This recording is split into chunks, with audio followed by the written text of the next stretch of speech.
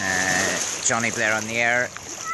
Ulster Chick, Don't Stop Living. We are, I am, and some other people, uh, in the Indian Ocean. Officially, I'm in it. Look, my feet are in it. We're in the Indian Ocean. Um, and this is in St west coast of um,